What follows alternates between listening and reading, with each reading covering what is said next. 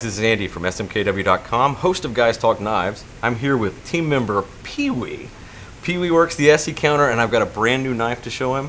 It's our SMKW exclusive. It's the new JG5. Yeah. That is a very cool knife. It is a cool knife. It is inspired by the Nessmuk knife. George Washington Sears was a writer in the 1880s. He uh, wrote for Forest and Stream. I guess that's what it was called before Field and Stream, if I had to guess. But this is based on the knife that he carried. He was somebody who pioneered like day camping. He would tell people all about going on canoe trips, and really what we know as ultralight camping now comes out of that whole George Washington Sears thing. Right. But he wrote under the pen name Nessmuk, mm-hmm. and the knife that he carried was called a Nessmuk. James Gibson designed this for ESEE Right. and for SMKW.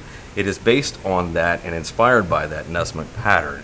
Um, it is, again, as always, with these gorgeous uh, ESEE knives, it's that 1095 carbon steel, and just like the PR4, they put that black oxide coating on it. They've also put on that sculpted micarta handles, triple rivets, so it's nice and steady in there. Full tang construction, ends up being like 9.6 inches overall. That's really It's a good good. size. A lot of people think you need a giant knife to go camping with. Right. Well, Sears was totally against that. He hated those people that uh, brought their giant Bowie out there. He thought, I don't need an axe. I've got an axe to be an axe. I need a knife to carry with me. So his Nessmuk pattern was fairly thin. It was good with a nice curve, a wide belly on it, so that he could do some skinning and other camp tasks. Right. And that's exactly what James Gibson has done with this ESEE JG5. The blade on it is 4.875 inches long. It's about an eighth inch thick, was a nice size. And then the handle balances out at almost exactly the same, 4.875 awesome. inches. Yeah. Here's what's awesome.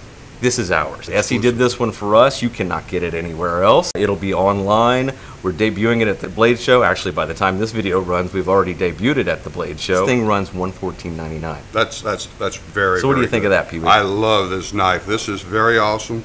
It's very similar to the PR4 that we've been carrying for a while now, um, and that's been a great seller. That that knife is sold so great.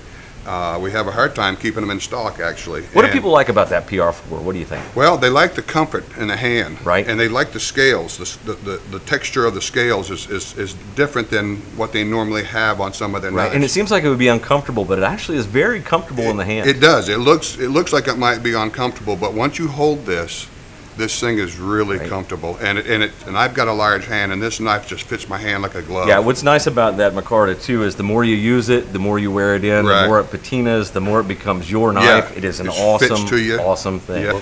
I'm Andy with Smoky Mountain Knife Works, smkw.com.